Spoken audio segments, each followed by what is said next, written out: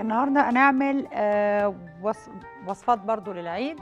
أولها هيكون المعمول أو الكحك السريع ده هنعمله باللبن المكثف المحلى.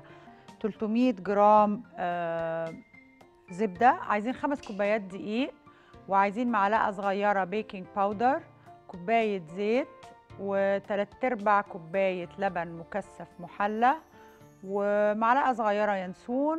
الزبدة عندنا 300 جرام. اهي. أنا عايزاهم يسخنوا. هحط معاهم الزيت.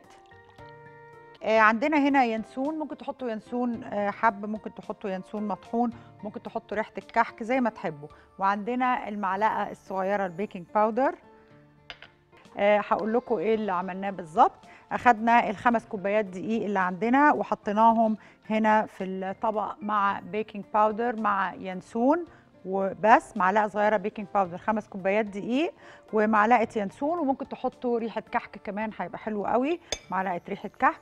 آه سيحنا ال 300 جرام زبدة مع ال 100 مع الكوبايه زيت وهحطهم على الدقيق اللي عندنا.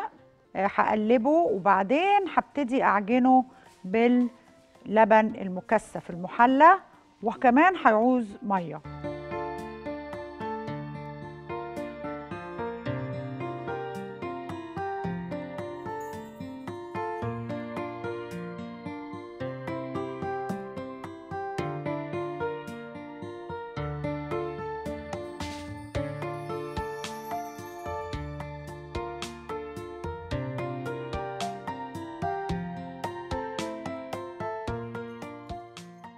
دلوقتي هاخد الكلام ده هحطه في الفرن على درجة حرارة 180 لغاية ما يتحمر من تحت قاعه وكده بيبقى خلص بياخد تقريبا ربع ساعة آه، في الفرن.